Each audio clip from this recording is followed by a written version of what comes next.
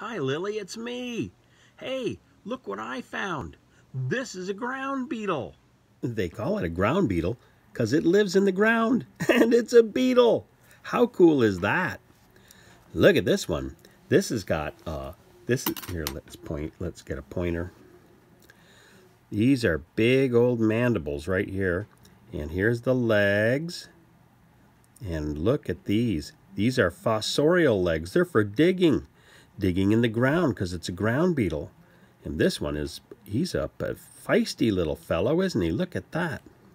Hello, little ground beetle. Hello. He's, uh, he's got big mandibles, and he would try and pinch me, but I'm not too concerned because I don't think he can get them around my finger. But we won't spend too much time irritating him. I just want you to see these legs. See? See these legs? These are these are what we call fossorial legs for digging. Remember we talked about legs?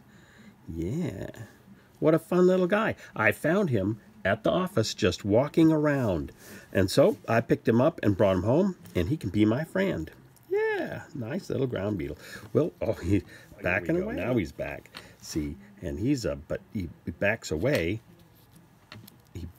He backs away because he's that's his get that's his that's his uh, that's how he gets away from things. He can walk forward too, but if he feels threatened, he just backs backs away, tries to hide under stuff.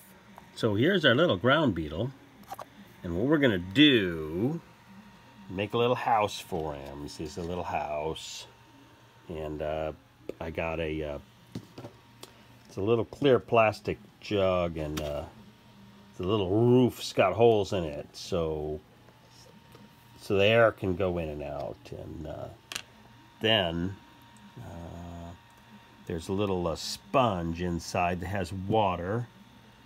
And uh, then we're going to put we're to put the little uh, ground beetle in here. Okay, little fella. Okay, little fella. Oh no. Oh no. Here we go. In he goes. Oh no, he fell. Oh, he's good. There we go. He will probably end up, he'll probably end up getting underneath something and there he's going to stay. And we'll put in, uh, we'll find something to feed him because this little guy eats other bugs. So we'll, we'll find something good See there? Yeah, he's getting the water. He likes the water in the sponge. Well, that's good. He was probably thirsty.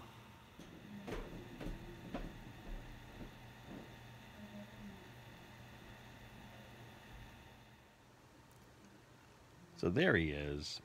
Most of these beetles spend their days underground. In fact, one of the species of this beetles is called subterraneus, means underground.